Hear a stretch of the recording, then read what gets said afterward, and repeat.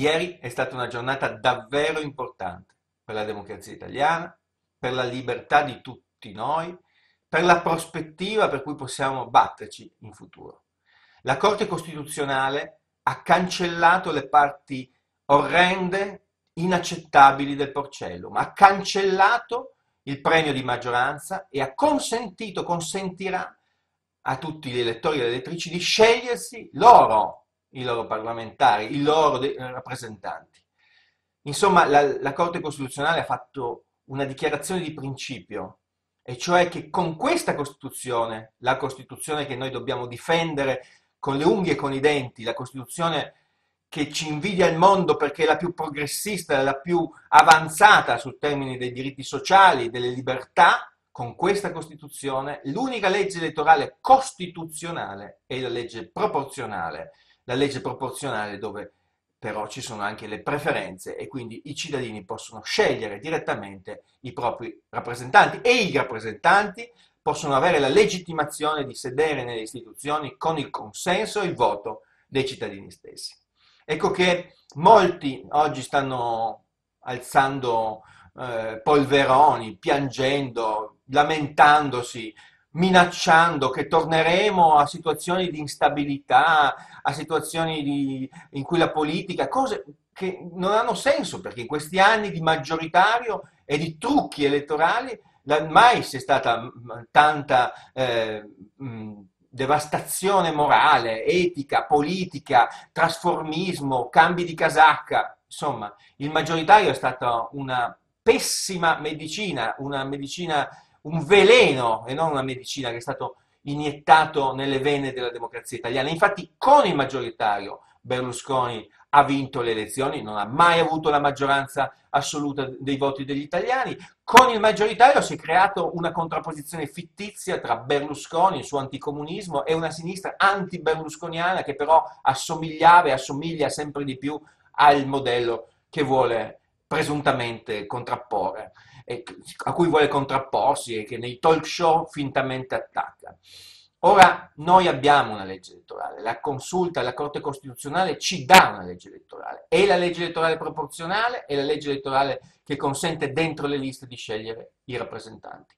Renzi, a Renzi non piace questa soluzione e ne sappiamo, ne sappiamo i motivi.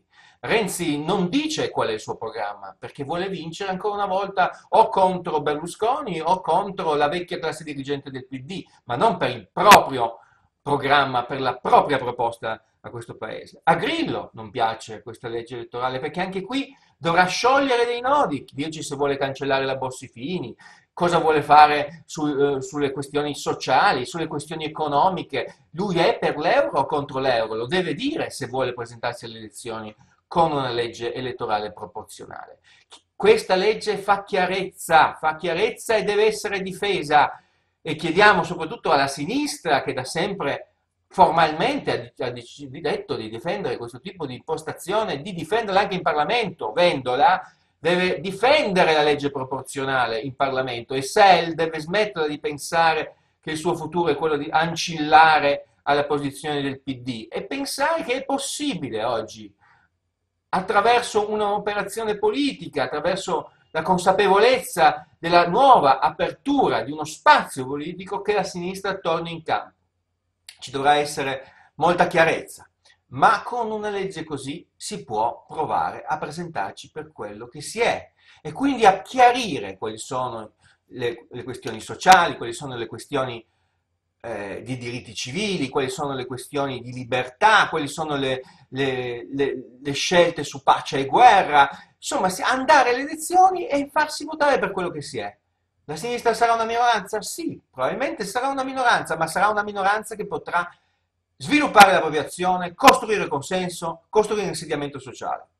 Ecco perché questa legge elettorale va difesa con la stessa forza con cui difendiamo la Costituzione. Nessuno tocchi la nuova legge eh, elettorale. Si va dalle elezioni con quella legge che ha deciso la Corte. Ci si presenti per quello che si è e si chiede il consenso. E questo saremo certi quindi che il prossimo governo, quello che sarà, sarà un governo che sarà stato votato dalla maggioranza degli italiani, non con un trucco eh, con i premi di maggioranza, ma perché gli italiani avranno votato quelle forze politiche che poi comporranno il quadro di governo. E i, deputati che verranno eletti non saranno stati nominati da 4, 5 o da 1 o 2 capi partito, ma saranno persone che hanno passato il vaglio del consenso e del voto degli italiani e delle italiane. Ecco che così si difendono le istituzioni, dando forza a chi entra nelle istituzioni e dando forza alle istituzioni stesse perché legittimate, perché partecipate, perché rappresentative e quindi capaci anche di scelte le, le istituzioni deboli non fanno scelte, le consegnano ai mercati, alle banche, a chi ha potere vero. Le istituzioni forti sono quelle che rappresentano il popolo e le sue idee e, sue, e, i suoi conflitti e che dentro le istituzioni portano quei conflitti. Ieri è stata davvero una buona giornata per questo Paese. Sapremo cogliere l'occasione che ci è stata data? Io spero di sì, dovremo lavorare perché la sinistra colga questa occasione e sia in grado di ritornare a presentarsi con la propria faccia, con proprie, i propri valori, i propri, soprattutto gli interessi che essa vuole rappresentare e chiarire che questo Paese ha bisogno di un cambiamento vero, ma che il cambiamento viene dalle scelte radicali in, sui termini sociali e sui termini di libertà.